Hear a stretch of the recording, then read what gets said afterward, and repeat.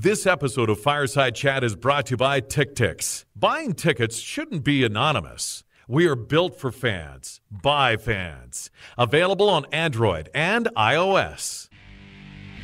Are you ready? Sea of Red, it's time for another Fireside Chat, the official podcast of Flames fans. It's go time. This is Dan and Matt back with you for another episode of Fireside Chat. And Matt, I was a bit confused this week if I was watching Flames hockey or Oilers hockey out there. What a terrible week for this team. Well, it's been a terrible season thus far. When you've only got five wins out of 16 games, there's no sugarcoating it. This team has been absolutely terrible. Well, let's get into looking at the two terrible games for this week, and then we'll break down where this team's at and kind of give a state of the union, I guess. So we came into this week. We had two games. It was a fairly easy week. We were expecting the Flames to get a lot of practice in because they were at home. They took on the Dallas Stars first and ended up losing four to two here. Um, Jamie Benn became the star of this game, scoring two goals. I why don't you start with your thoughts on this one?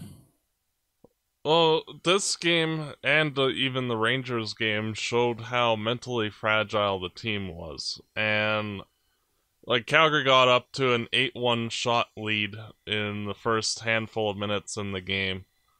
And then one minor mistake led to an odd man situation heading back the other way.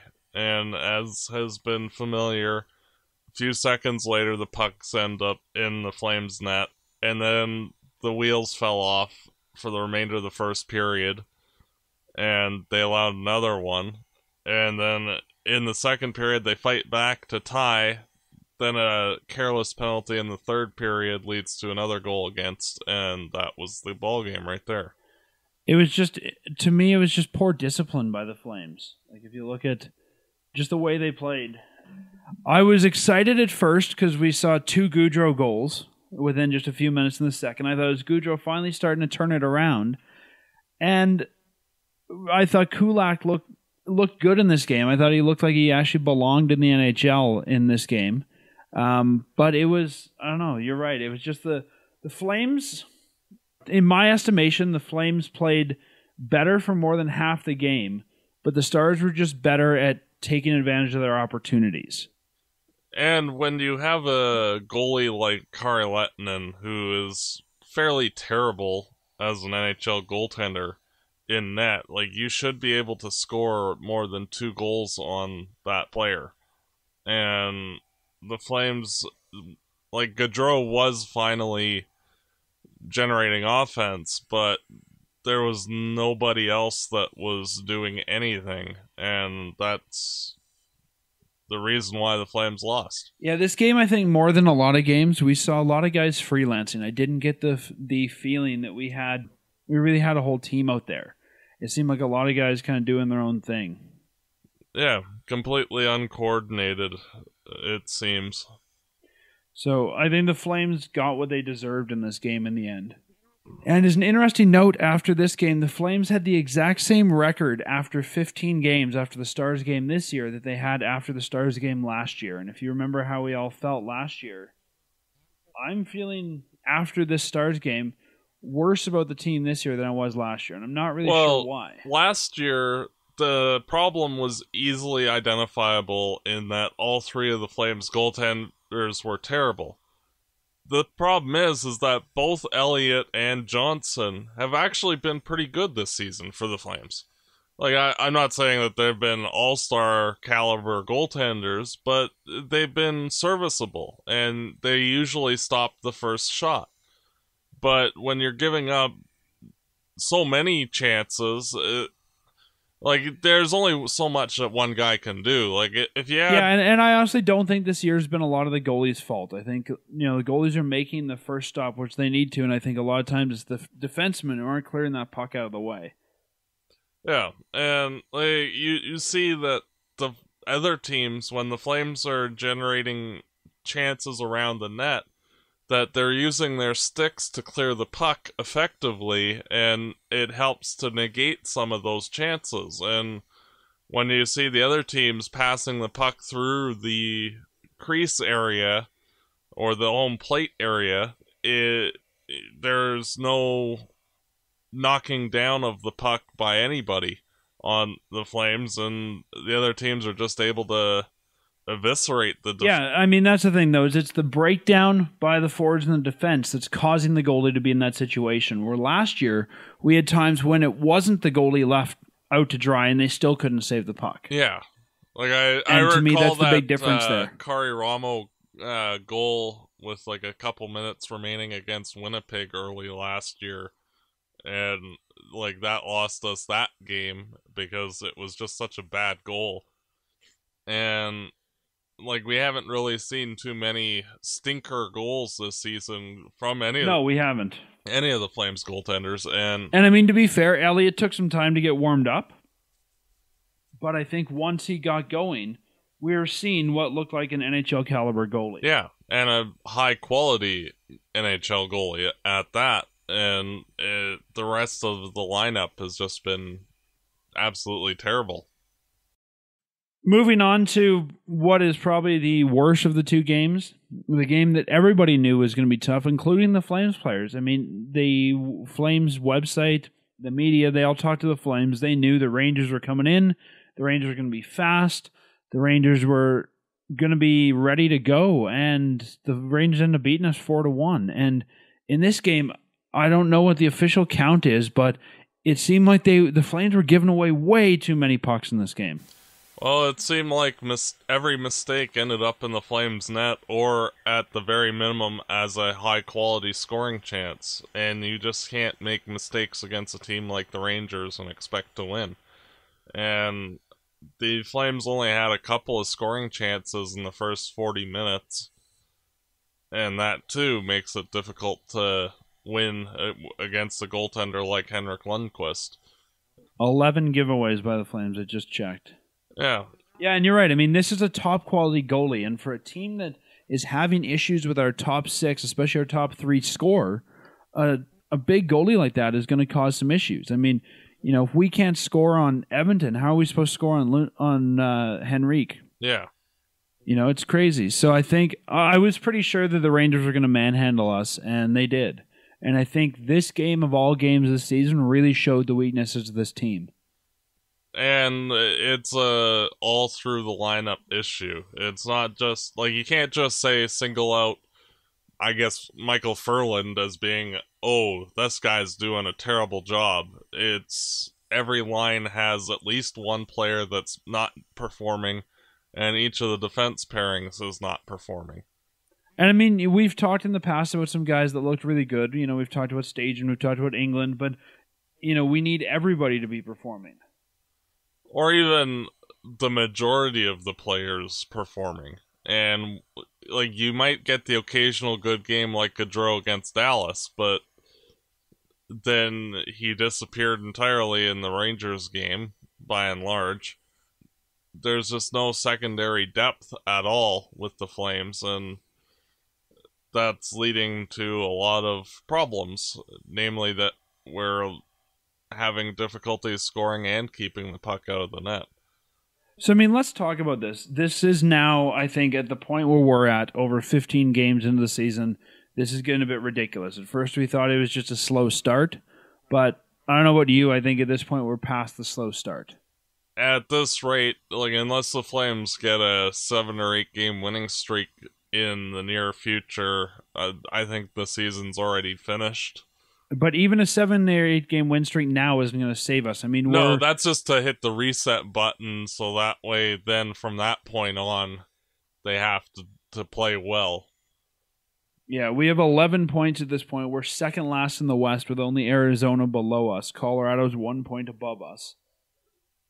So, Matt, I mean, looking at this team, we both had different opinions going into this year. Before even seeing the roster this year, you were pretty sure that this was going to be a playoff team. You had the thought that the only thing broken last year was the goaltending.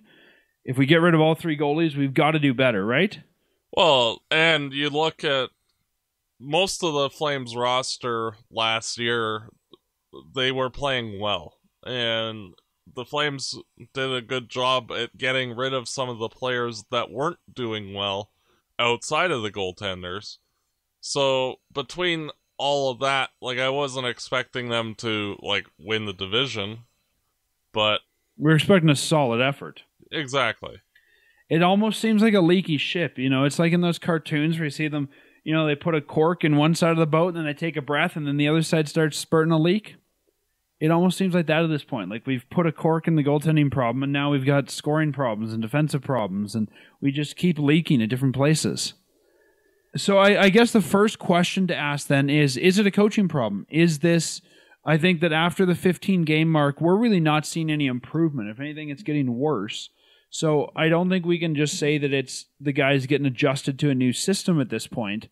Well, Is this I think that a lot of it has to do with the fact that Bob Hartley's system emphasized the individual talent of the player and utilizing their abilities to generate offense and like whatever their particular skill was. And that's how you saw guys on especially on the Flames defense get so many points is that oh well guys like Giordano and Brody they can jump up into the play effectively and do what they can do to score goals and get assists. Whereas this system is a system where the players are having to readapt. Instead of just utilizing their strengths they have they're having to have the additional responsibilities. And i think that in addition to adjusting to the system that the team is also having to deal with the fact that they're not being given the freedom to utilize their own abilities to its fullest extent for sure? because like if you look at Stockton, for example, they're one of the best teams in the AHL and have been manhandling a lot of teams out there. It's the same system. And the young players in Stockton are getting it without a problem. So I think a lot of it has to do with the fact that you're having veteran players that have bad habits and are having difficulty adapting because of it. Yeah, I don't know. I think that there's I think there's fault on both sides. I think it's the job of a coach definitely to put a system in, but you can't come in doing what the Sutters did. You know, when they were here, if this is the system and you're going to conform to it, I think it is the job of the coach to do what Hartley did in a way and say, these are the talents I have, these are the players I have, and what they do well. Let's build a system around it. But at the same time, it's the player's job to adapt and do what the coach tells them to do. So I think there's a bit of give and take on either side.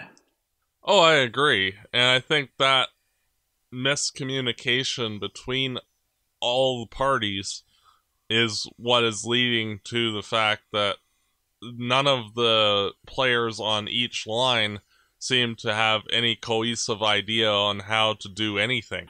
I don't know. I mean, to me, it seems more. At this point, it doesn't seem like just a coaching problem. Like the fact we're getting such a lack of offense from guys like Gaudreau, I don't think this is just a I don't know what to do thing. I mean, guys who generally don't know what to do revert to old habits and familiar habits. And Gaudreau's not even reverting to old habits at this point. Yeah. Well, uh, one of the things that you have to also remember is that the both Gaudreau and Monahan didn't have a training camp, so they're a little messed up because of that. Yeah, Gaudreau went to the World Cup though. Yeah. But even then, I mean, uh, how many games do we give them before we say, okay, this isn't a lack of training camp anymore? I mean, most guys played what three games in camp. Yeah. So how many games? We're now 16 games in the season. How many games do we give until we say this is not a lack of training camp anymore? My patience is running thin for those two. Yeah. You know, we Same just signed here. them both to a lot of money. We're expecting them to perform, and you know, they to me they have to perform for the contracts they just got. That's why we're paying them the big bucks. So you know, I mean, going into this season, I was saying before even seeing the roster, I think this team needs another year. I don't think this is a playoff team yet. I didn't think they were going to be this bad, but I just thought that there's some stuff that has to be resolved on this team with a new coach. And even before we knew there was a new coach, I just thought, you know, we need one more year for stuff to click.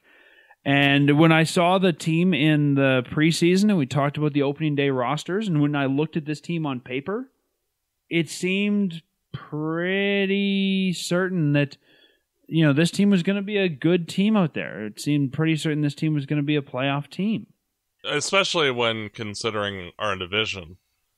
Yeah, and yeah, I like I don't expect the Flames' six main players being Gaudreau, Monahan, Bennett, Giordano, Brody, and Hamilton. I didn't expect all of them to struggle to the extent that they have. Like I thought maybe one or two might have a slow start, but having all six of them be borderline terrible for their level of play, I don't think anybody could have evaluated that at this point. No. And and that's the thing is I think at this point for me anyways it's more than just you know beginning of season struggle. There's too many guys all struggling at the same time for this to just be a you know we didn't have a camp or you know we're we're trying to work on our new coach and we're not seeing improvement. We're not seeing them trend up. If anything, they're trending down. So I don't know. I mean, something has to change here. Yeah. I guess the big question is what has to change. I don't think you. A lot of people are calling for the coaches' heads. I don't think you can fire the coach this quickly. No. It's going to send nobody's going to want to coach here if we have, you know, two coaches fired in the same season. Yeah. And I don't think that yeah, like you said, I don't think that that is the best way of going about it. One thing that is a coaching issue though is the special teams. And I was doing some research and prior to the New York Rangers game, if the Flames had an average power play and penalty kill, just 15th in the league, instead of being uh, minus 17 in uh, the goal differential, they actually would have only been negative six. And they've surrendered six uh, empty netters as well. So, more or less, if this team was not dead last in pretty much both categories, then wins that the Flames have, because I think that if the Flames got a goal here and there or didn't allow that big power play goal like the Dallas game uh, in the third period, I think that in and of itself is one of the main reasons why the Flames are struggling. We have 39 goals for and 59 goals against at this point. We have the most goals against of any team in the Western Conference.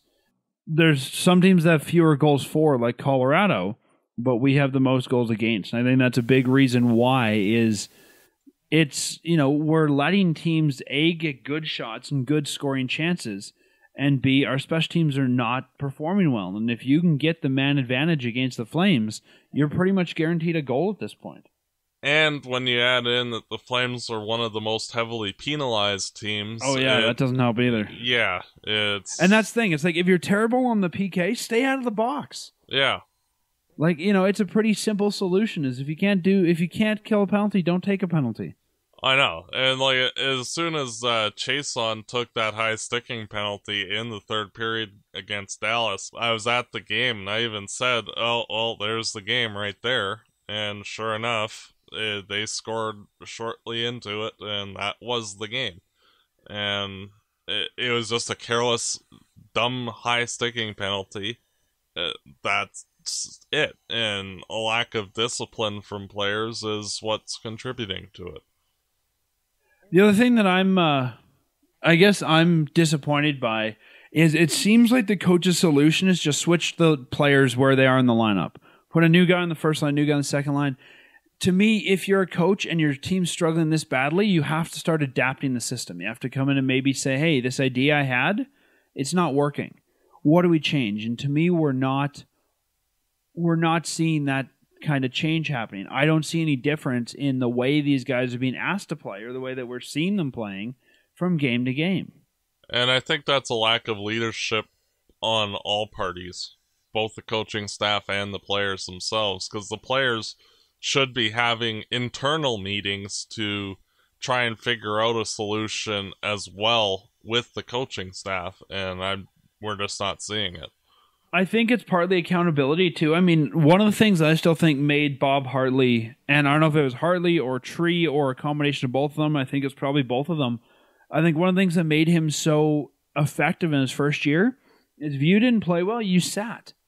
You know how how many guys do we see brought up from the farm that year? Guys like Jooris, who we never thought would play the NHL level, and played pretty well. And I'm not seeing that so far. I mean, we've kind of got our guys we rotate between. We've got you know the defenseman who slot in, and Jokipakka sits out once in a while, and Hamilton's been sitting out. But to me, if you're not performing, it's time to sit and bring somebody up from the farm and see if they can get the job done that you can't. And I think that was one of the big things we both. I know I criticized Hartley for last year. I think you did too. Yeah. Was if these guys aren't performing, it's like the Mason Raymond thing. How much leash did we give him? Like if you can't do the job, bring in somebody who can, and keep bringing guys up till we find a guy who can do the job. I agree. And I think that this year, especially if the Flames do continue to struggle, that you'll see guys like Klimchuk, Jankowski, even Mangiapane getting shots in the NHL just to see if any of them actually spark anything in the NHL. Yeah, I, I, can definitely see that happening. I think that has to happen, especially with Stockton being on fire and these guys being hot right now. It needs to start happening sooner rather than later. I don't know what you do, but somewhere somebody has to, and I hate using this term, but somebody has to be made an example of. Whether it's sitting a big player and saying, you know, you're not playing well, you're on the bench, or a coach gets fired, even though I don't think that's right, or the GM gets fired, which I don't think is right. I think somewhere somebody needs to publicly be made an example of, and I'm just not sure who or when. Yeah. And like I think if the Flames struggles continue till the end of December, then I think you fire the coach. I I I think it well okay, so if we fire the coach, who do you bring in at this point? Honestly, I I don't think it matters. I I think you Give just Dave bring Cameron a, the job? honestly, I might even just uh, bring Huska up for the balance of the season until you can find somebody else as a more permanent option in the offseason. I think they'd be more likely to give either Cameron or Jerrard the job. Yeah. Well, it depends if you fire them too. So I don't think you can fire three coaches all at once. Who's going to coach our team and the HL team then? Yeah. Especially with the HL team off such a hot start, you don't want to just you know switch all the coaches one night. So I don't know. I I don't think the team fires the coach at this point. I think you have to kind of leave. You got to leave Gulutzan in for at least a year. I mean, at this point, if the season is a wash by the end of the month, what's the point in firing him? If we don't get more points, we're pretty much out of it by the end of the month. Why? What are we going to change by firing him at that point?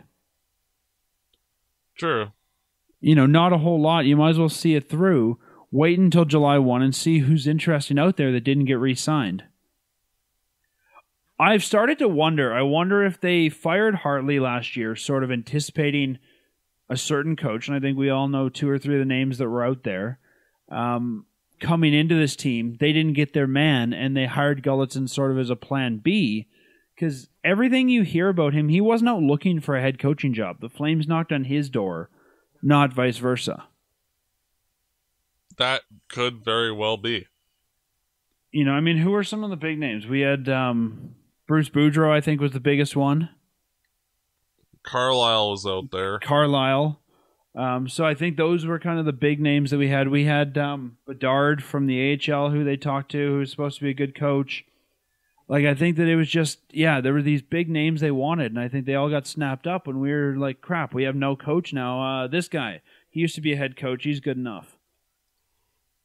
And you know, I'm hearing people now calling for Treliving's head. I don't think it's the GM's problem at this point. The GM on paper has put the right players on the ice. That's his job. Well, you look at it, heading into this past off season. What were the two biggest needs? A right winger with size and goaltending. What did he get? And getting and getting Johnny and Monty signed. Yeah. And what did he get? Brouwer, who has done an effective job as the big right winger on the second and I'd line. say got him on an affordable deal. Yeah. And then you got the two best available goaltenders. You know. Johnny and Monty both on affordable deals. Yeah. So he did his job. Yeah, I don't think it's Treliving's fault at this point. He's put the team on paper they needed to put together. I'm wondering if, and I have no inside knowledge of this, but I'm wondering if the team is struggling because these players don't believe in this coach. I wonder if they're, you know, thinking in their head, This guy's an assistant coach. He's never been an NHL coach, Yeah, or at least a head coach. Well, oh yeah, that's true. He was in Dallas, but yeah, I don't know. I just wonder if they don't have any faith in this guy. It's yeah, it's really tough because it usually after like the first 10 or so games teams start to figure things out and get on the same page. Well, that's it. And even when there's a new coach, you start to kind of see their fortunes increasing. They might not be totally where they need to be, but you see them trending upwards. And like we started to see that like when they went to Chicago and St. Louis and We had a couple even the games. San Jose game, like they and the Chicago game in Chicago uh at the start of the month, like you could see that like things look like they were coming together. Then once they hit the LA Kings, it's like everything that they were building just fractured entirely and like everybody's off of this on their own page now entirely. But even look at last year. We had what seven good games. Like we had a streak of seven games where this team looked promising, and the other seventy-five they looked not so good. Yeah, pretty much. So I, I think we're on that trajectory again this year, and I, you know, I think in some ways we can afford it. We can afford this year to not make the playoffs. We've got everybody uh, who we need under more than one year deal. We're not built like Chicago, where we've got to blow this thing up at the end of the year. The bad contracts that we have are coming up at the end of the year. Between this year and next year, a lot of money comes off the books. It's going to let us buy the rest of the pieces we need. I'm not trying to give the team an excuse or a pass, but I just think that we can afford one more year, but we better get it done next year. Like, I'm not saying we should win the Stanley Cup, but this team better come out looking like an NHL team because I think that this rebuild now, if you look at the roster, the rebuild is over. Yeah. You know, we we might need a couple pieces here and there, but we've got the young players we need. We've got the guys in the system we need. The rebuild is over, so let's act like it. Yeah, and realistically, if uh, the team reallocates Wideman's money and gets an equivalently expensive forward that can play with Gaudreau and Monahan uh, and is le- uh, like a legitimate 25 goal threat, then that makes the team actually dangerous to play against. Whereas, Remember, we're also going to sign a starting goalie. yeah, but As that- of now, it's Tom McCollum yeah, well. or I don't. or I don't Gillies. see that being much more than four million bucks, really, because there are a number of goalies, whether it's Elliott or other. I think it'll end up being Elliott again, just cost wise. Yeah, I think the other guy everyone's thinking Ben Bishop is going to be in a bidding war. yeah. So, you know, I I don't see it being that big of a deal. But another thing, I know it's early, but at least in this year's draft, there are four right wingers in the top ten that are over six foot two. So, if the Flames do struggle, they will at least address the right winger position finally. Yeah, but even then, who knows if that guy? I mean, the trend is bring the guy up right away. Yeah. But I always look at the draft as don't look at it as an immediate fix. Look at it as a fix two to three years out. oh, I know, but at least they would actually have a legitimate top end forward prospect that's a right winger, which is something that the Flames lack. So, and again, as you said, like that player likely wouldn't uh, show up in the NHL for two or three years in a reliably dangerous role for the team, but at least they'd have another one. Yeah, I think that, you know, and I'm not saying I want to see it. I mean, it pains me to see a week like this week as a Flames fan. But I think we can afford to let this one, you know, to get better draft picks this year and maybe sell off some assets or move some of that. Even if we don't sell off the asset, just letting some of that money go and being able to finish what I'm now calling the retooling. I think we've done the rebuild and now we're doing the retooling of filling the holes that we have, right? Like we did with the goaltending, like we did with bringing Brouwer in and finish that retooling next year. But I think this fan base is starting to get a little impatient with this team, and we're expecting results. I mean, we've waited long enough. The team told us wait for results, and we've waited. And I don't know how much longer you can wait. Well, I think a lot of fans are just worried about like Calgary being Edmonton 2.0 and I don't think I don't think we're quite there yet, Matt. Yeah. Well, I think that's where some of the frustrations are coming from because of the fact that like this team they went out and addressed the goaltending in a legitimate way. Like, okay, yeah, we we weren't didn't get the results from them that we wanted last year, but now we've got two of the best goalies from the last number of years on our roster. So, like, we're taking that next step, and then they fall on their face even further and look worse significantly so than they did a year ago. And it's like expectations versus results and I think there's a bigger gulf this year than even a year ago. For sure. But I mean, if we look at the contracts, you know, like you're talking about the goalies, look at the contracts come off the books this year. Versteeg, Wideman, Engelland Elliott Johnson. I think that one of Elliott or Johnson have to be retained. I think it'll be Elliott at about four million.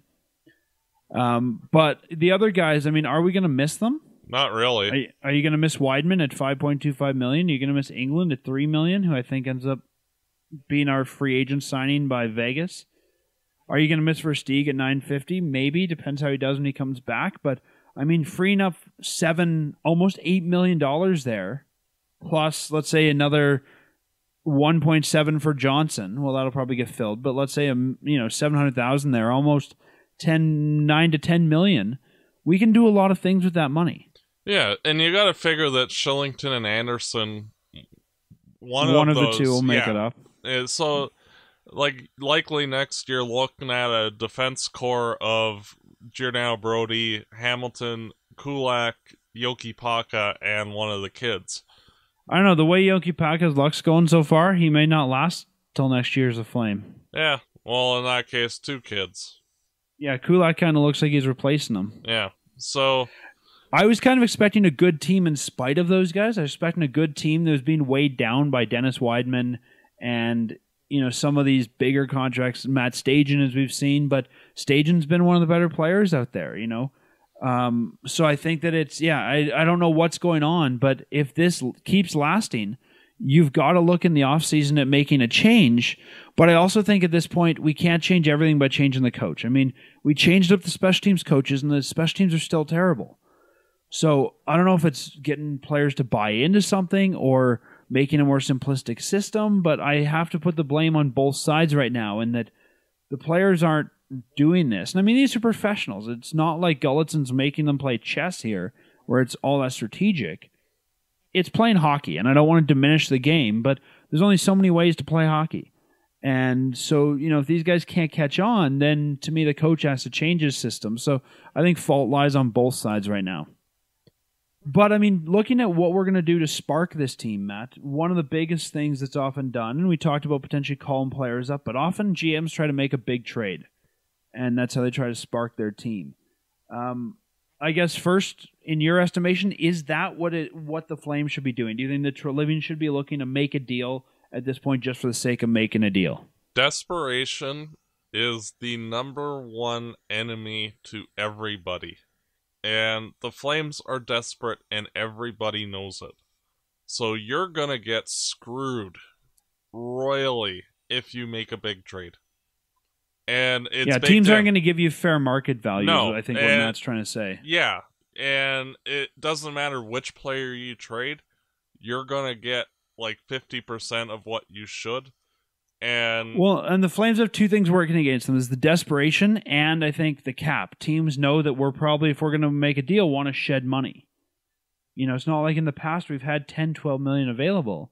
We've kind of got two things working against: desperation and the cap. Yeah, no, and this team, like any of the players that you would ideally want to trade in a shakeup deal, are not players that other teams are going to want one, and players that you're not wanting to trade, like Dougie Hamilton, you're not going to get market value for them. So, if you're going to make a deal, then you're just basically screwing yourself for the future.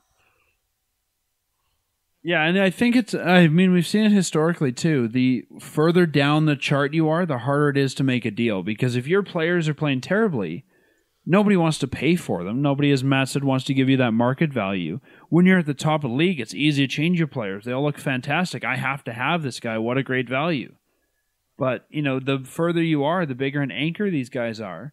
And it's interesting you mentioned um, Dougie Hamilton, Matt, there's been a lot of talk over the past week that the Flames have been getting calls from for Hamilton. Of course, you know GMs make calls as part of their job, but you know the Flames haven't said they made him available. But there's been some talk that there's calls there. Do you think that Hamilton should? I mean, if you look at the defensive core, he's probably the most likely one to be moved if they're going to make a big move. But do you think that Hamilton solves the problem there? To me, Hamilton's not the issue on defense. No, and like anything, you listen to any trade offer, and like if somebody made a ridiculous offer for Johnny Gaudreau, you look at it, but it'd have to be ridiculous. And when you have a young, cost-controlled, six foot five defenseman with a hell of a slap shot, that you're not really gonna want to deal that player easily. And we just finished signing Hamilton to a big deal. It was a very cost-effective, five point seven five million dollar deal. Exactly, and unless you're getting a significant, significant overpayment by the team, which is not going to happen right now, then you just don't make that trade. And I don't see anybody really that is a fit for him, and I don't see that happening. It could, but it would be a shock if it did, and it would likely be a bad trade if it were to go down.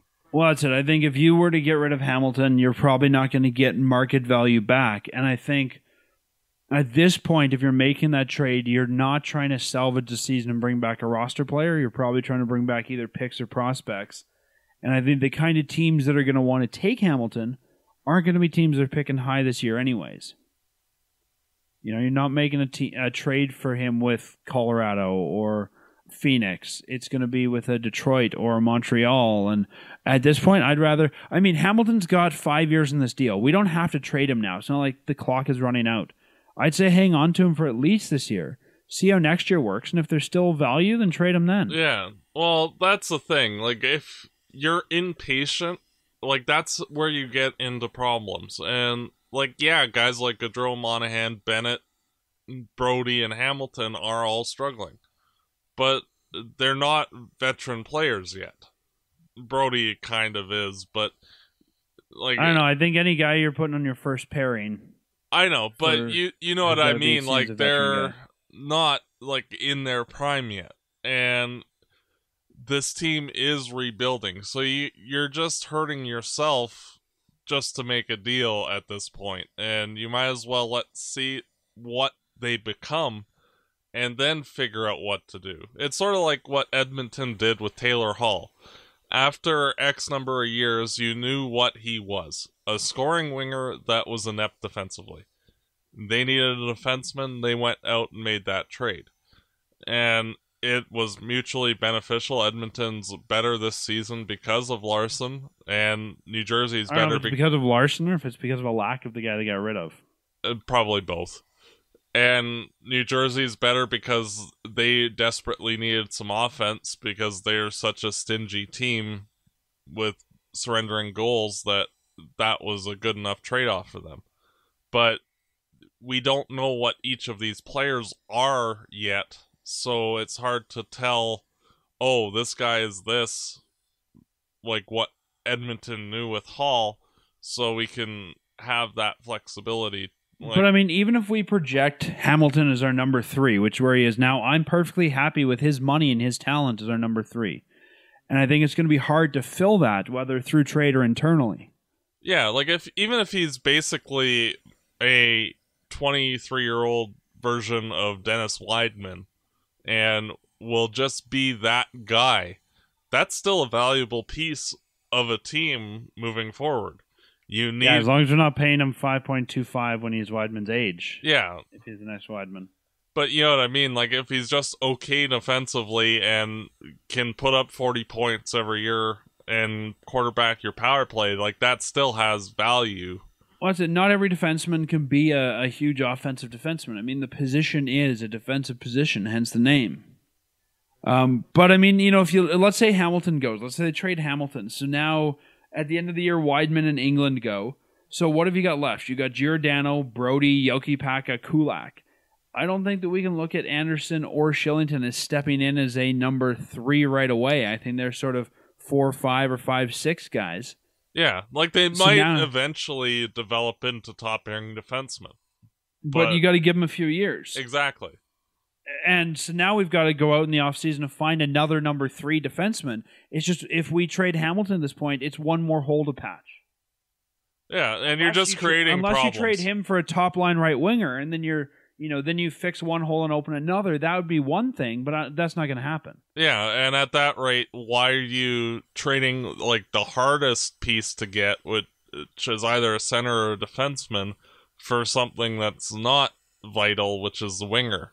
So, like, you're taking less value overall. So, Yeah, I just I I can't see anyone who you move on this team just to make a move. no, like, if anything, I think they just ride out the season, and if Calgary continues to be outside the playoffs, you see what they did last year in extracting uh, value for Hudler and Russell and guys Well, like said you'll get something for Wideman, you'll get something for Engelland at the deadline. like I could even see the Flames deciding uh, and opting to just trade Elliott possibly at the deadline if you know if they're not gonna sign him.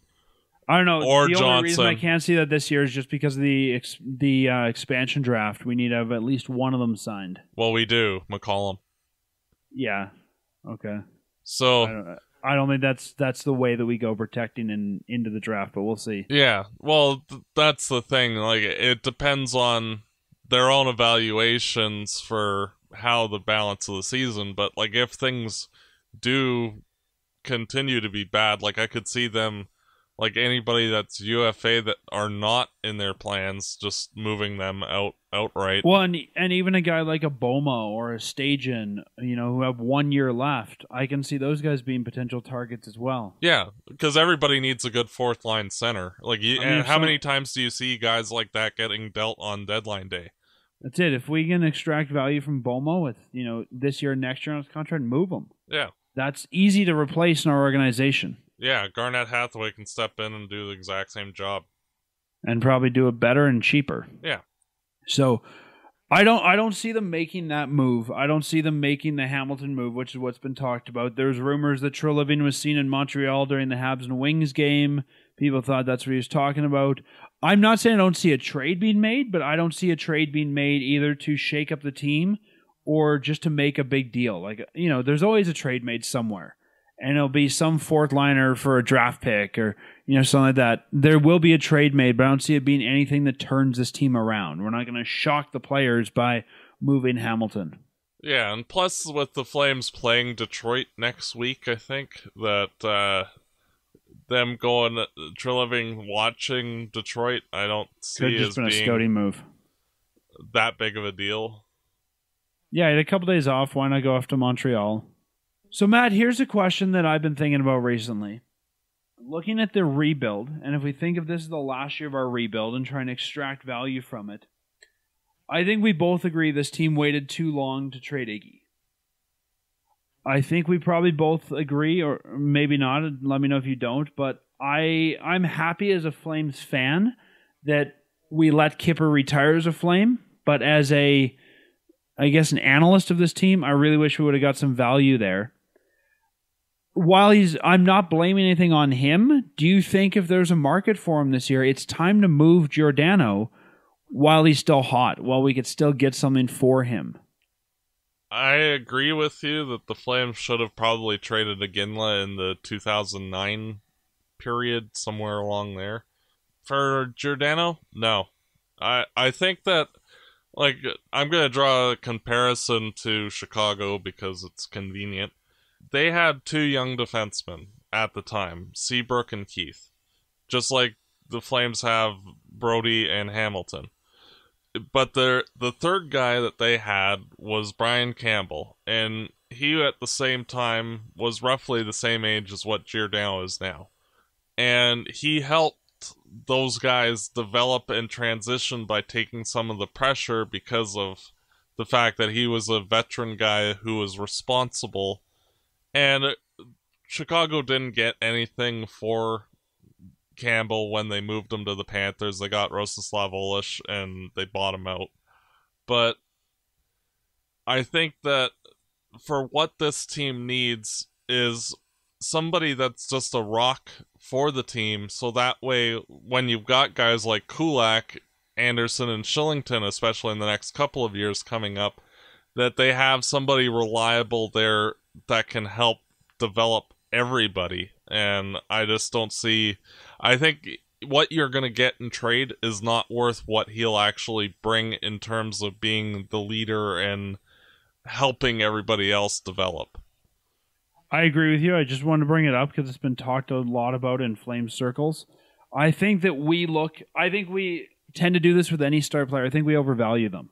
And I think we think here in Calgary we're going to get a lot more for Giordano than you will on the open market. He's making 6.7 million every year until the end of 2021 2022 season. It's a big contract for somebody to absorb for an older player. And while I think we're getting a good deal for him this year, I agree with you. I think we're going to overpay him a little bit in the end, but he's going to be a solid number three. I don't think he's the number one guy for more than maybe two more years. I don't think that Hamilton's necessarily the number two, but I think we have enough defensemen in the system that could slot in there. I think it's going to be Brodie and somebody. I'm just not sure who yet.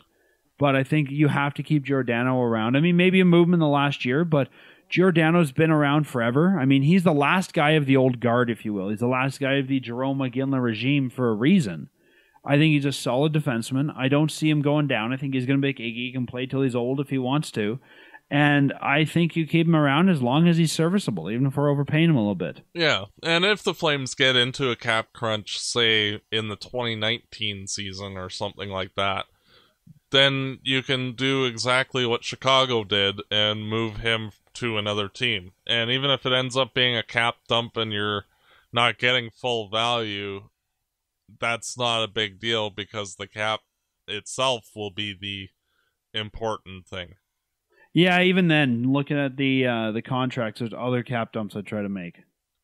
Oh, of course, but you know what I mean. Like if it came down to him and just trying to get rid of like two or three million dollars freed up for, so you can sign somebody else, then that becomes the asset, not what you're necessarily getting back in trade. I mean, Gio's 33. We have him signed till he's about 37 or 38, depends when his birthday is. I think by like 2019, 2020, he's going to lose a lot of that trade value. Nobody's going to pay want to trade us a three year contract at 6.7 for a 36 year old player. I don't see Giordano playing out the rest of this deal. I think he retires before it's done, and I think that's more likely, Matt, at that point, is if we need to get rid of him, he just retires. Yeah, I don't see that necessarily, but I I think that like he'd have value to a team where the Panthers were when they acquired Campbell, a team that's in the middle of a rebuild. Sort of like what Edmonton was two years ago. A, a team Yeah, like maybe. that where they just need somebody that has that experience to build around. And I think that's where you would end up seeing that player go. But To me, I think the Jarome Iginla trade was symbolic in a lot of ways. It was the we're moving past our star. We have to move this player to start a rebuild, to get some young assets and start this. To me, there's no point in moving Giordano. I mean, yeah, we could probably get value for him, but I don't see where we need that value. Where you say, you know what, mortgaging Giordano is going to help us fill X role in spades. Like we're, I don't think we're going to see that at all. And I think it's just a move to again to make a move.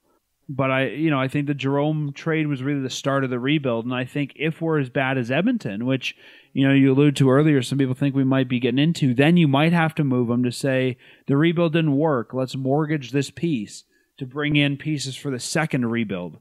But fingers and toes crossed, we don't get there. To me, it's a move just to make a move. Yeah. And those are the ones that you usually end up losing. Sort of like when uh, Darryl Sutter was in his final year as the GM with the Flames, and we saw I'm trying to forget that season. Yeah, Jokinen getting acquired and or dealt to the Rangers. I mean, for Kotalik and Kotalik. and uh, the Phaneuf trade. Like it, that's where like desperation results in those types of trades. And And I, I think the Phaneuf trade is probably the best analog here. I think if we were to trade Giordano, we would get a package similar to Phaneuf trade. Yeah, and like yeah, that's not exactly great. So I mean, Stajan's still around, but we got you know Freddie Sjostrom, who is supposed to be the key prospect there. I think we just get a bunch of junk if we were to trade Jarome at, or uh, Giordano at this point. yeah, you might get a mid first or equivalent and a decent prospect, not a good one, but like a Shinkaruk level prospect, and that's about it. Well, that's what I'm saying. It's not like mortgaging Gio is going to help us. Like if we could mortgage Gio and get some top line right wing hot shot prospect, maybe, maybe you look at it. But right now, I don't see why we need to mortgage that asset and what we're going to get back that we don't have. We're pretty deep Yeah, in the system. So I, I've heard people again. I wanted to bring this up because I've heard it online talked about a lot. I don't see the point besides, you know what, we got stung by Jarome and we don't want to get stung again. But I think there's something to be said for keeping a guy around. I mean, yes, they're business assets, but you know, Joe's been very loyal to us. We've been very loyal to him, and I think unless he's terrible, unless he's you know the next Dennis Wideman like player at that age, I think you know we're overpaying him a bit. But you just let the guy ride out into the sunset as a flame. can't argue with you. Any other kind of thinking about the state of the union? Any other things you think we we need to do as a, and I guess not us, but as an organization, the Flames need to do to kickstart this season? Honestly, I think what they'll need to do if the struggles continue is to remove the players that are not performing. And whether that's waiving them to Stockton or just Put them on the bench for a couple days. Yeah, exactly. And I think that we're starting to see that now. It came out today that uh, Troy Brouwer has been moved onto the first line with Gaudreau and Monahan. So that's one change because Alex Chiasson looked completely out of place on that line. And the Flames have also brought Garnet Hathaway up. Do you think that Chiasson maybe sits out and Hathaway draws in the lineup? that's what I'm hoping for because I I think Chason has played so poorly that I actually would not be shocked if he like Grossmann was waived and assigned to the AHL. So let's let's talk a little bit about some of these moves. Then um, we talked about Chiasson being moved off the first line, the possibility that he maybe sits out because Hathaway has been recalled. I don't see anyone else who Hathaway really slots in for. They're really having Chiasson play that sort of grinder agitator role this year, which is Hathaway's baby and the way he plays. But they've also called a Wotherspoon, which I thought was an odd move right after they got rid of Grossmann. So let's start there. Grossmann finally we saw got waived. I was joking last week they should have left him in California and our Flames listened to us. Like, oh, that would have been a good idea. But they waived him right after they got home and no nobody claimed him. Are you shocked? No, not at all. Nobody claimed Grossmann, so he refused to report to the HL, so they waived him again, and now they've terminated his contract mutually. No surprise there that apparently some other team wants him. Some team in Sweden wants to sign him. I guess my question is who is so terrible at defense in Sweden that they need him? But uh, Grossmann had a comment on this that he talked to a Swedish website. Um, he said, I have agreed with the Calgary Flames about this solution it would be like a step back to go to their farm team in the AHL and play there, given where I am in my career. And I don't know. I think I, I, hate to say a guy's full of himself, but there's a guy who didn't get a contract until the day before the season started. There's a guy who's making league minimum. I don't think you know if you were that good, you would have had a contract. Yeah, and you would still be playing every day. Well, that's it. The fact that you got bought out and the fact that you weren't playing here and you were looking terrible this year, you know, I don't think it's a it's a step down to say you're going to the AHL. You know, we've terminated them. No love lost there. There's another experiment. It's like our Anders Eriksson and Filip Kuba, not Kuba. Who was it that um that Feaster brought in one year for a seventh round pick? Some old terrible defenseman. I can't even remember off the top of my head. Maybe it was Kuba. I'd have to look. But um, you know, we've done this a few times, and I honestly think Grossmann. I don't think they ever had much intent to playing him. I think it was just there to get the long term injury reserve cap space for Smid, because the way it works, from what I understand, is Smid's making like what two point five this year, three this year, somewhere in there. Three. So so if he's making three and we have two point five million available under cap, that means we only get five hundred thousand of cap space we can spend over the limit. So the ideal is to get as close to the cap as possible with long term injury. That way you have more money you can spend over that cap. So I think that Grossmann was just brought in as a numbers game there. What I'm hoping doesn't end up happening is I hope that because he didn't report and he got suspended or whatever it is, that we don't end up having to pay this deal out. Because I really don't want to have any more Grossmann contract on the books. Yeah. We're already paying for for um, Mason Raymond to have gone away. I really don't want to have to pay Grossmann to go away as well. I mean, it's going to be very minor. It's half that, so it's two hundred fifty thousand next year, but it's still something, you know. So good. I, I guess you know goodbye Grossmann. I'm not going to miss him, but I think what this does do is it cements Brett Kulak now as our number seven, if not higher, defenseman. Would you agree? Yeah. And uh, like it, in the Rangers game, he was a minus four, but really he wasn't the only problem on almost no, every I mean, one every- of the goals. everybody played a terrible game there. Yeah. And the way that they're the way the Flames are going this year, I'm really surprised. Honestly, Kulak's still here, um, but we've been seeing Jokipakka sitting out a lot, and I can see just based on what the Flames seem to be liking here, is I can see Kulak potentially taking Jokipakka's job. Yeah. Well, Jokipakka is a decent number six seven defenseman, and I think because of where the Flames were last year after the deadline, they used him in basically Chris Russell's spot, and I don't think that he's a good enough defenseman to play beyond a number six role. And no, they're kind of looking at him to be the number four, sort of right after Hamilton on the depth chart. Yeah, and I don't know. I don't really expect him to be more than the six seven for this season or beyond. Really, Yeah, I, I think that Jokipakka was slotted into lineup because he was acquired for Russell and we needed him right away. But I think it's really going to be kind of, you know what, earn your way up. Earn your way onto the lineup. And I mean, I I think next year he'll get, you know, Engelland spot or Wideman spot. I don't think there's any question there if he's still around. He's a UFA or an RFA. I mean, I think he'll be here. But I think this year it's kind of going to be him and Kulak battling. Sort of what you were saying earlier is the better man plays the game. And so far, I think that's been Kulak. Yeah. And next year it will depend on how guys like Shillington and Anderson perform in training camp, and if they're ready for the NHL.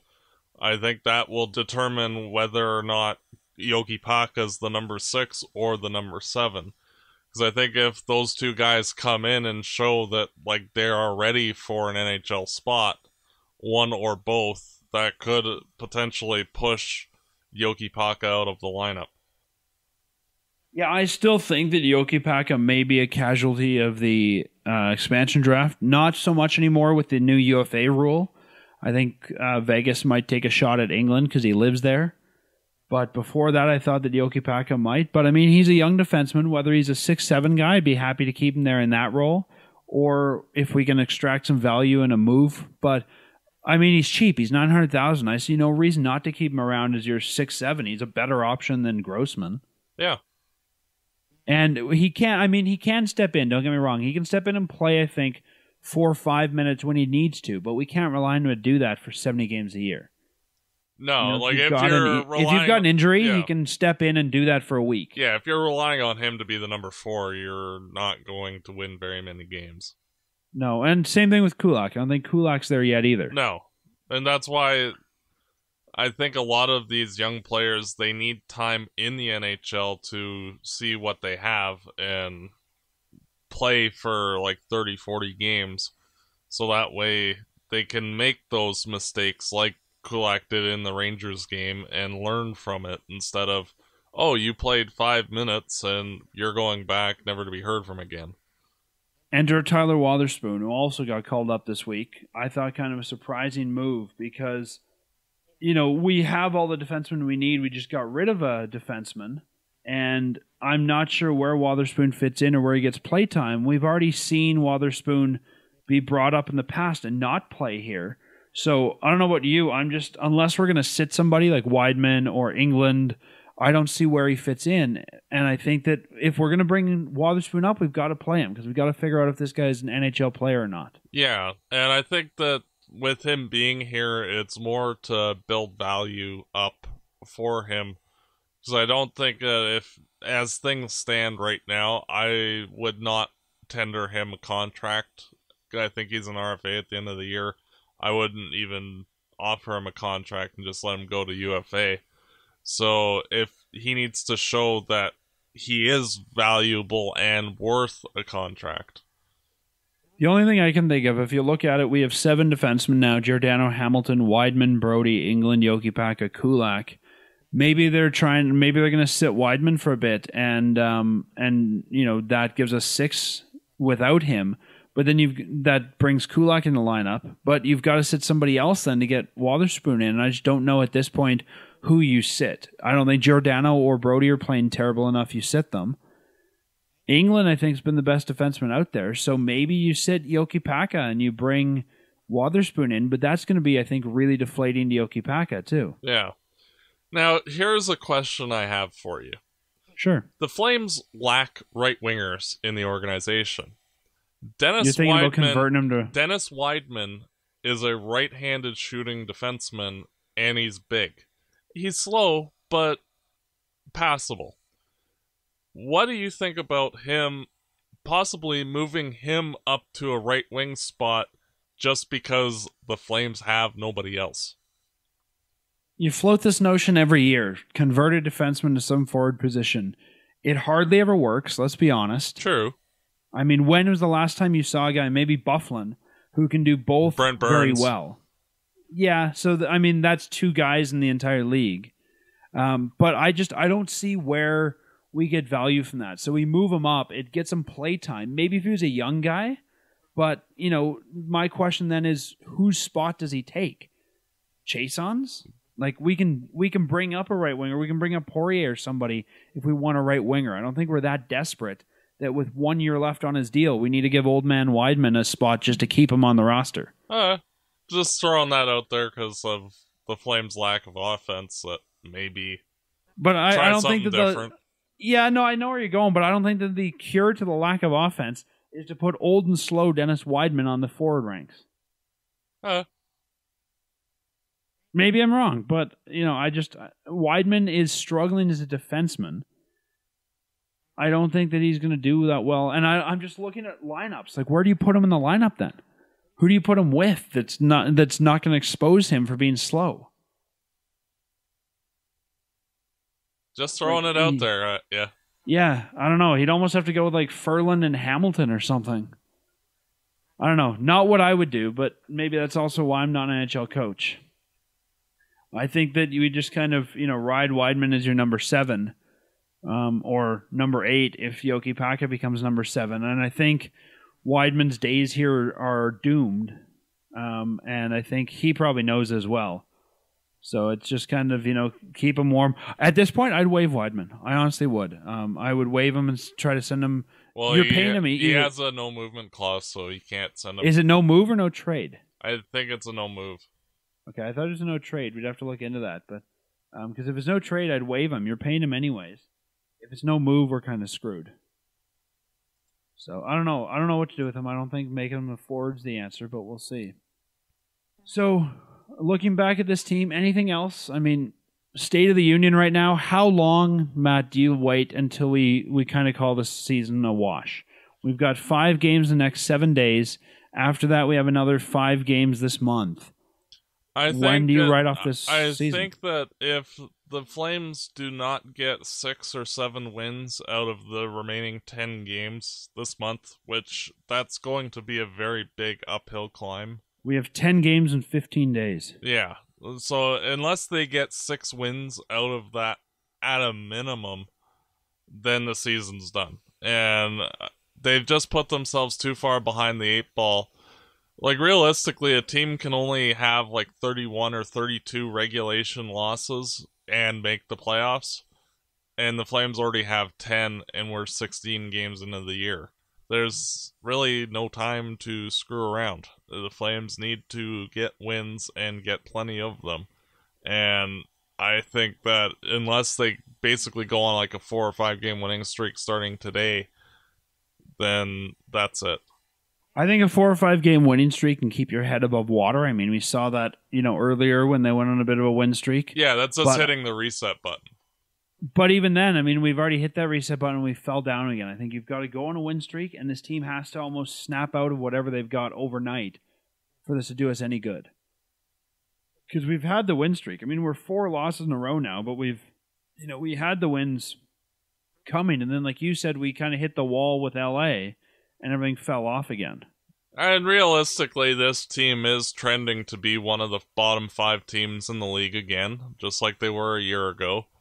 And if that's the case, it is what it is, and you just look ahead to the draft and acquire whomever. Like Tkachuk has been good, and Look ahead to the draft, and I think try to get as many minutes as you can for young players. yeah, whether that's through recall, whether that's you know through trading, whether that's just through sitting veterans. I think you just get into that post trade deadline mode earlier. yeah, and just figure things out and go from there. And I think the biggest thing, even if they don't make a change of coaches, figure out what has happened. Is it the lack of our stars having a, po- a preseason? Is it big contracts? Like I think you've got the rest of the season reflect on this and make sure it doesn't happen again. Whether that means changing personnel in the off season, whether that means working with the coach to try new systems throughout the year. I mean, if you've if you lose this month, you're out. You might as well try something different. It can't hurt. Yeah, exactly. If You know, maybe you sit down with Gulutzan and say, Your way's not working. Try it this way. yeah, figure something else out. So I just I don't know. I I think you're right though. By the end of this month, we have to we have to, I think we have to play 500 hockey through the rest of the month to even have a shot at getting anywhere. Otherwise, by Christmas time, I think that we can pretty much write this season off. December's a tough month for this team. Lots of games. And I think that you and I are both being overly optimistic by not saying that it is already done, which it's pretty much already done. I don't know. I, I would agree if it was last year, but I think we have a weak Pacific division. True. I, I also don't know if there's actually benefit to the team sneaking into the playoffs at this point. Like, let's say we make it just because the Pacific Division is weak. We're gonna get annihilated by whoever we play. Oh, Like if this, for sure. If if this is the Calgary Flames that we're seeing, even if we go on the occasional hot streak and we barely sneak in, do we really want to go to the first round to get annihilated? well, some playoff games are better than no playoff games, but yeah, they're gonna get destroyed if, especially if they play Anaheim. I guess I'm just looking that if if that happens and we play Anaheim or LA, we've struggled with, I'd almost rather just you know, and I'm not saying tank, but I'd rather take the top five pick and lick my wounds and come back next year. Then go to the playoffs, get annihilated, and lose that last piece of the rebuild. I know what you mean. It's frustrating because you wish that the team would have come together and would be playing coherent, cohesive hockey, but that does not seem to be the case. And For some reason, I think this team is going to come together, but it'll be like late January, and it's like, all right, too little, too late, guys. yeah, exactly. Just like last year, where we played really well after the trade deadline, and yeah, yeah, early February, somewhere in there, um, you know, this team will come together.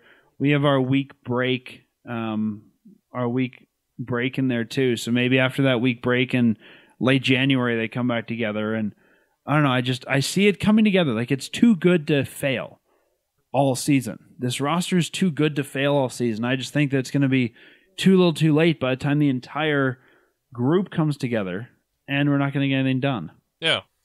And you look at what Tkachuk has brought to the team just in the small sample size of games that he's played. And like the thought of adding another guy of that caliber, which there probably will be if the Flames are in the top 5, then like that will help down the road if the Flames do flounder and continue to suck. It's just not what the ideal situation is for anybody. No, and you know, I'm really. I mean, it's going to be a long season if we're out by end of November. Yeah. Like we've got a lot of games still left to play. We have a lot of podcasts to record. This is going to be. I mean, last year was painful, and I think this year is going to be more painful because we all had such high hope. if this team flounders for the rest of the month. And I think that you're starting to lose a lot of fans. Um, you know, I'm seeing more people who say they're becoming a Fairweather Flames fan, and it makes me sad to see. But this team needs to produce. Well, it's understandable. Like if you watch any of the games recently, like that Rangers game, like that in years past, like in the preseason, the first game usually is very boring, just because like everybody's not really up to Awake. speed. Yeah. So and that look that performance looked like the first game of the preseason where nobody knew what they were doing and they're just oh, we're going for a skate today. And like if the Flames continue to play like that without any passion or ability to do anything, then fans are going to tune out because it's a boring product. Yeah, and I mean you're already seeing at the dome this year. I think more empty seats than we've seen in the past. And it's extremely quiet in there. Like I think that this season it's, it's li- been it's like the Young Guns era. Yeah. Like there's very little cheering whatsoever in any game and yeah, it's been not exciting. Back in the Young Guns era, NHL players around the league used to refer to the Saddledome as the library. Yeah, and that's returning unfortunately.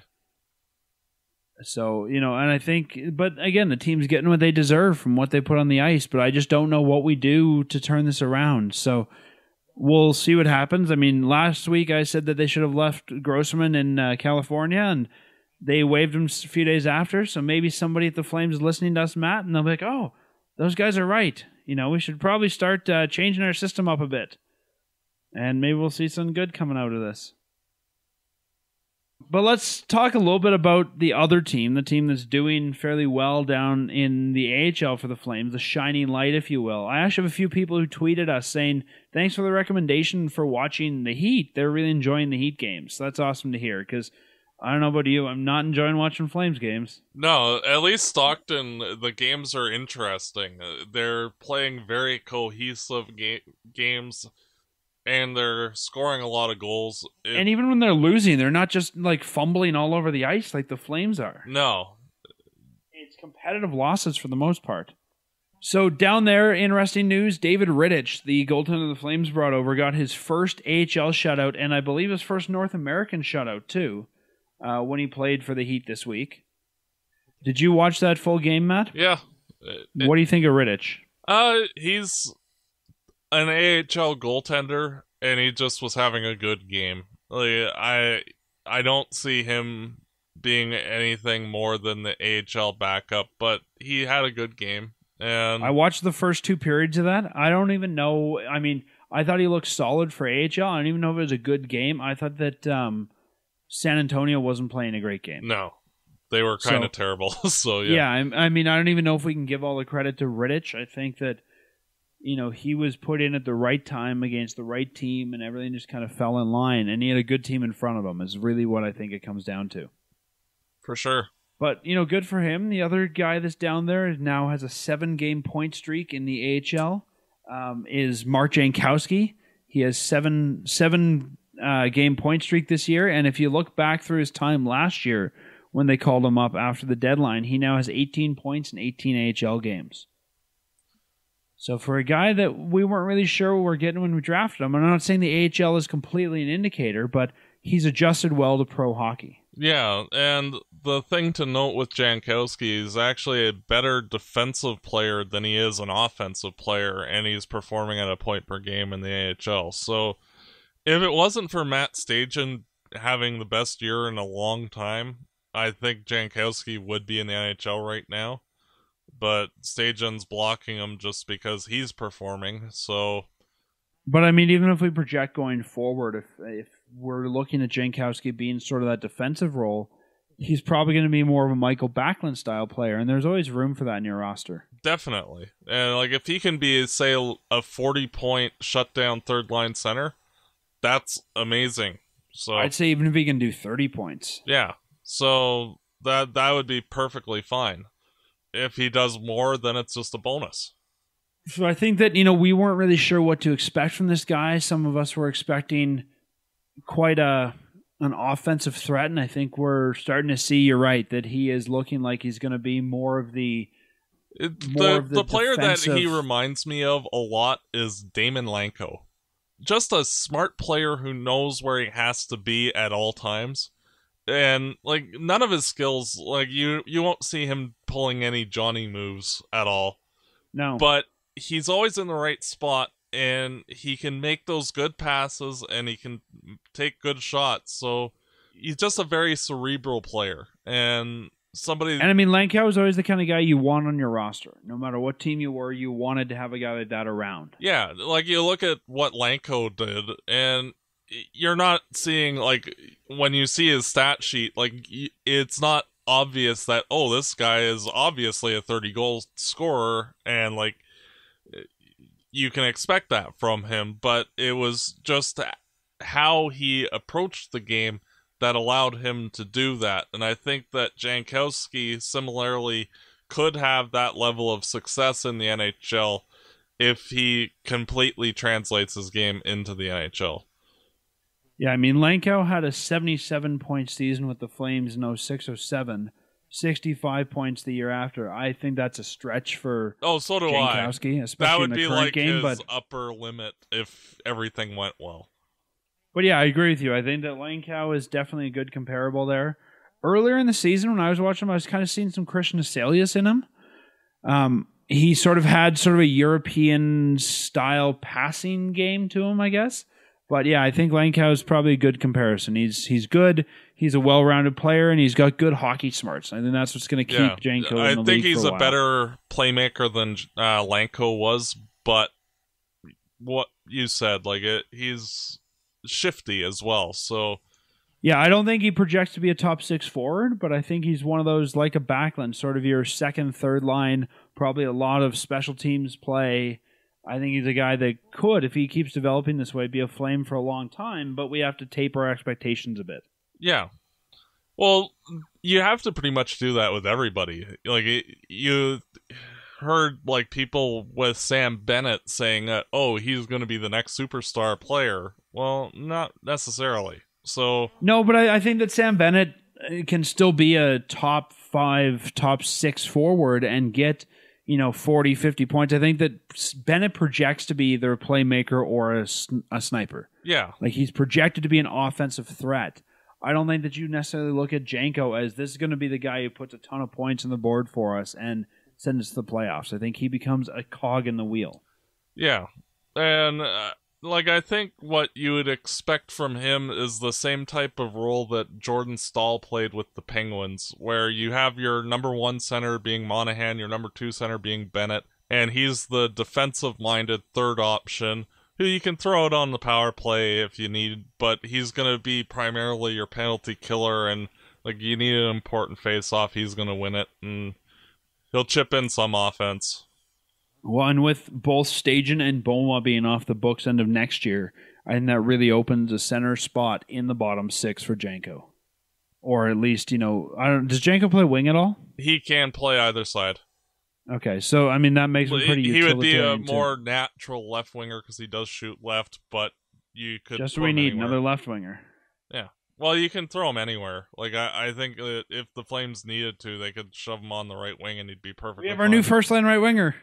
Move over, Chiasson. Wouldn't be the worst idea. He's a smart enough player where he could figure it out. Where Give him a shot at least. Yeah, that's the thing. I always will take a smart player over anything just because of the fact that they're more adaptable and they can figure out how to do things in situations.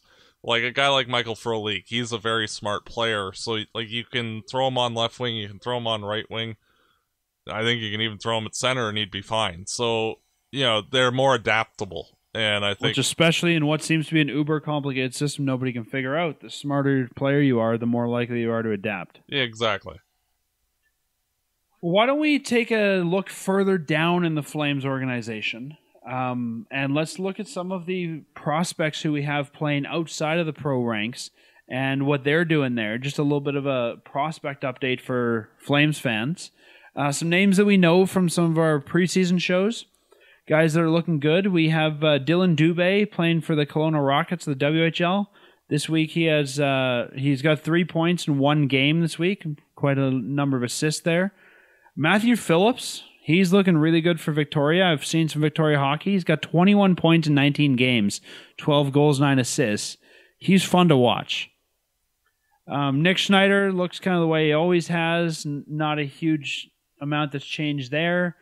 Tyler Parsons, though, I mean, he's on a good London Knights team. I'm focusing more on Parsons now. Now that we've drafted him, I saw him a few times last year, but I'm liking the way that Parsons is coming together. I think that he's looking, um, and maybe it's just because I'm noticing him more, but I think Parsons is has a more complete game than Schneider does. And I think that I mean it's a it's a big depth chart right now with McDonald and Gillies and Rittich and whoever else we've got, um, McCollum. But I think Parsons is going to be a, I don't want to say the goalie of the future, but I think he'll be around this organization for a while. Well, that's the thing with when you're in that transitional phase like the Flames are, where they don't have their number one guy like they did with Kipper. You just have to keep adding goalie prospects one after another each year or two. Well, you always say take one a year. Yeah, and eventually one of them's got to figure it out. Just the law of averages. So Parsons playing well, that doesn't surprise me. Hopefully, as he progresses, he can push for a spot. I think Gillies is obviously the most likely to take the spot, but you can never have too many goalies. Just look at Anaheim with uh, Anderson and Gibson. Well, and that's I think how they found greatness is just going through so many, you know, drafting goalies, taking a chance on them, and just having them in the organization. You can't win if you don't have the guys around. Looking at the NCAA college hockey, Adam Fox is playing defense for Harvard. He has six assists in six games, so he's got six points there. Brandon Hickey's playing defense for Boston University. Brandon is really filled out this year. He's looking more like a, an adult player. He's sitting at four points in nine games. I caught some Boston University hockey. I was at a bar that had it on this week. Really weird game to have on, but it was fun to watch. Um, and then our ECHL players, we have Mason McDonald, who's still tending net in Adirondack. He's 4 1 and 1 right now with an uh, .884 save percentage. Brett Pollock, who came over in the uh, Jokipakka deal, has four points in nine games, and Steven Falkovsky is three points in 12 games. I don't, I don't expect Falkovsky to translate into much. I think he's probably a career minor leaguer. What about you? Uh, Falkovsky does have some quality offensive instincts. So being a six foot seven defenseman, if he can figure everything out, which admittedly is a long shot, then he'll be a quality NHL player. I think there's too much there for him to figure out and too high of a defensive depth chart for him to climb. It's one of those things you just never know. And for a seventh round pick, you throw a flyer at the guy. If he actually turns out awesome, if not, hey, you tried. And I agree with you. I think it's a long shot, but it's better than some of the other options that were available, and hopefully figures it out. And looking at some of our prospects in Europe, Pavel Karnaukhov, who we weren't sure what was going to happen with him, he's playing in the VHL, which is, I believe, the minor league for the KHL. He has 12 points in 13 games, so maybe that was a good move from Karnaukhov to go over there. He's almost point per game. Um, Linus Lindstrom is two points in 16 games, playing in the SHL. I believe that's Sweden. Yeah, that's their professional league. So even though it's only two points, that's actually fairly good for. Yeah, it's a very competitive league over there. Yeah. Mattias Janmark for Dallas.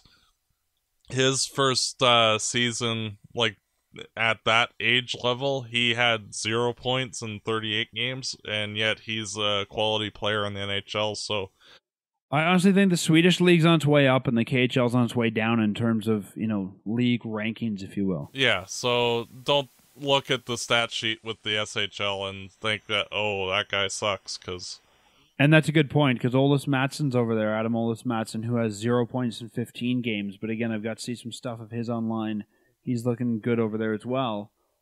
And the I guess the wild card prospect for me for the last few years has been Rushan Rafikov, who they can't seem to get over in North America.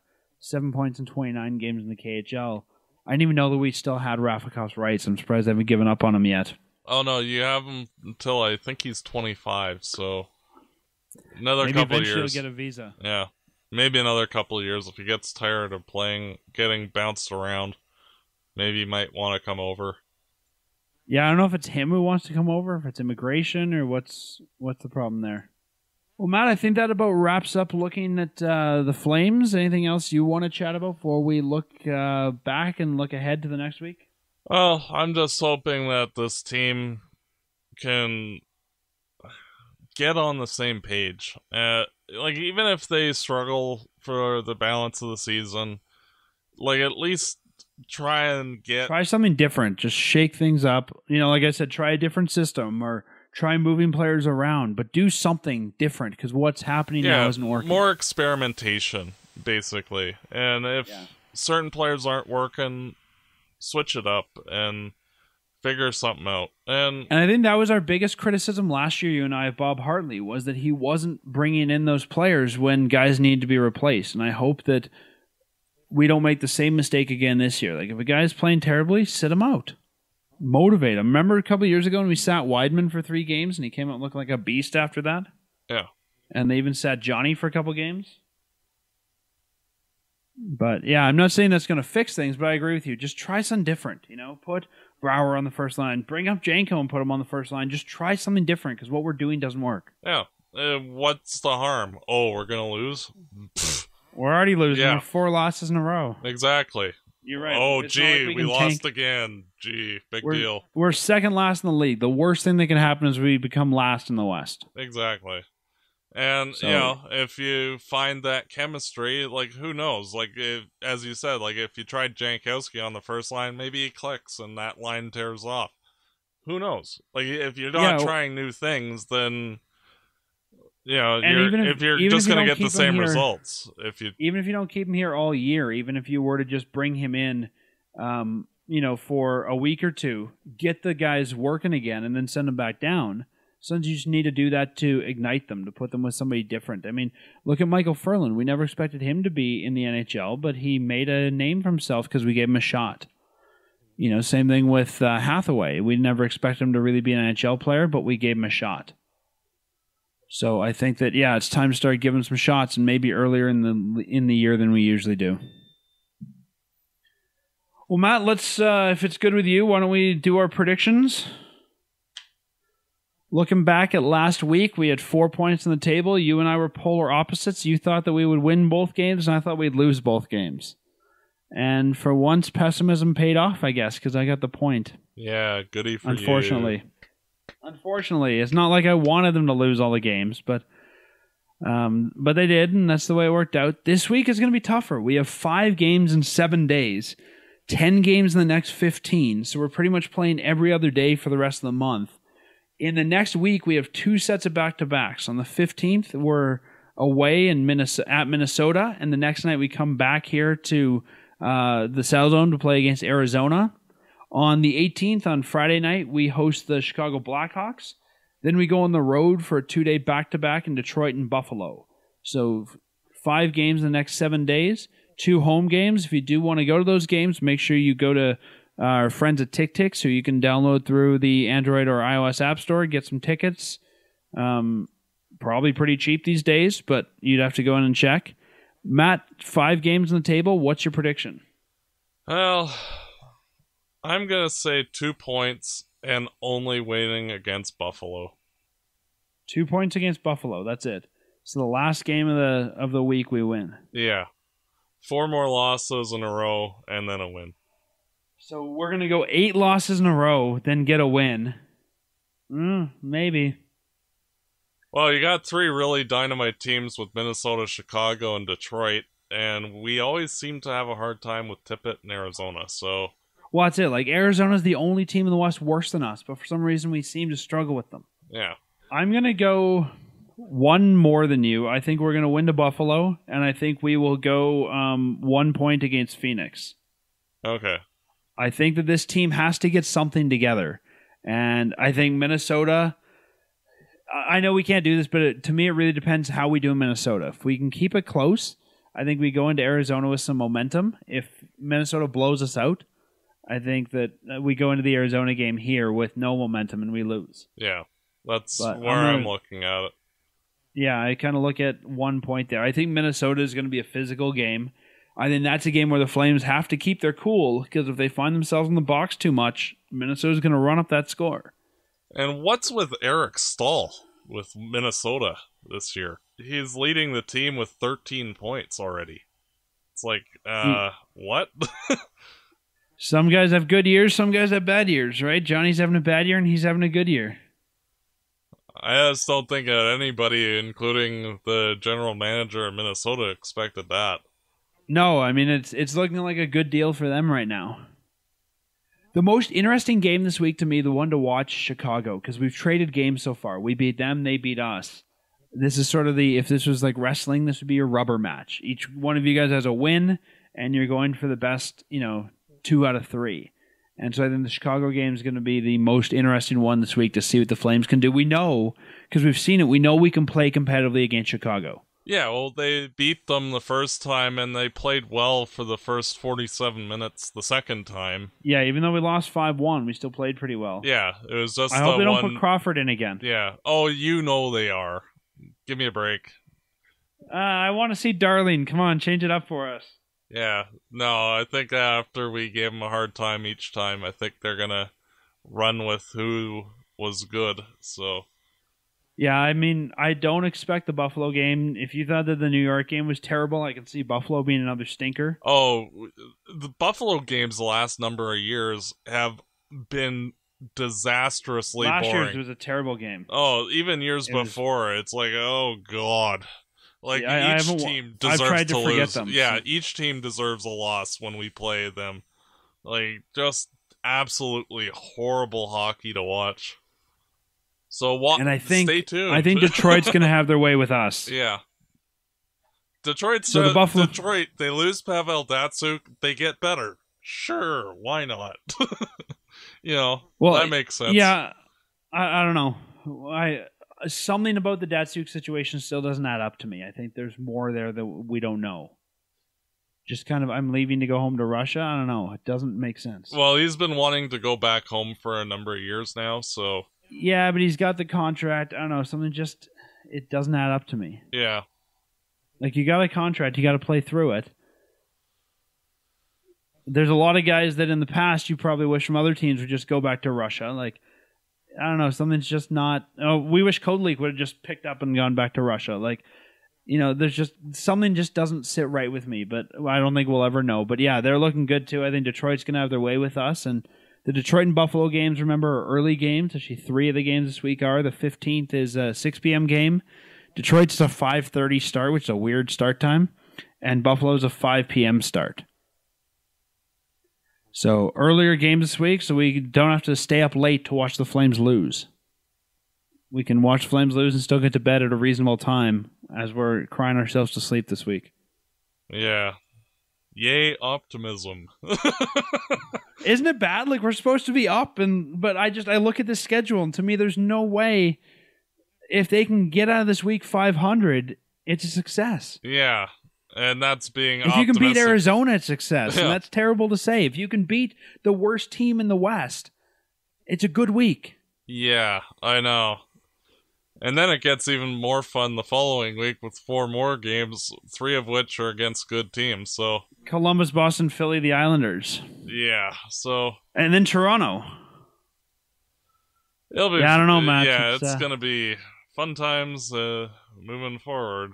And then if you look ahead to to December, it gets even worse. yeah, um, Minnesota, Anaheim, Dallas right off the bat. Yay. Arizona, Winnipeg, Tampa, Columbus, Arizona, San Jose, Vancouver, Colorado, Anaheim, and Arizona. At least none of the Anaheim games are in the pond. So we have a chance. Yeah, A slim chance, but a chance. I doubt it. Uh, if they're playing this way, no. I mean, at, at one point, do you just put out the white flag and say, you know it's not even worth playing this game? Like, you know, next time we go to the pond, they should look into the forfeit rules in the NHL rulebook. yeah, just have a day at the there. beach. hang out in Disneyland. Just go to go to Anaheim, hang out at Disneyland, do some team bonding. I don't know, either send like your AHL squad to play the game, just call everybody up, or look into the forfeit rules because I don't know. It's not. I mean, it's not looking good for this team as it is. Much less waiting for the next Anaheim game in Anaheim. So I think the one to watch this week is Chicago, and the big slaughter this week has the potential to be Detroit. But let's hope that we're singing a different tune come the 21st when we record next. Yeah, well, when the team plays as they have, it's hard to remain positive. Like, there's well, they're giving us not much to be positive about. and when your team is broken, it's hard to. Oh, we're gonna go win in four out of the next five games. You know, it's just no. We're being realistic here. Yeah, We're not trying to be negative. We're trying to be realistic. So yeah. Like uh, I'm a very positive person by nature, so you know, like that's why most of my predictions tend to be on the more optimistic side. But yeah, it's hard when like it. It seems like none of the players can even string passes together with any efficacy. So we'll see. But yeah, that's all we can do. Well, Matt, try to enjoy the uh, try to enjoy the week. Try to enjoy Flames hockey if you can, and we will uh, talk to you next week after the Buffalo game, and hope we have a different result than what we're predicting. Yeah, hopefully we're more upbeat and like, oh, we're back in things five days or seven days from now, but it's gonna It's be a likely tough uphill climb. So for sure. All right, well, you have a good week, my friend, and we will talk to you after Buffalo. thanks for listening, everybody. Have a good week.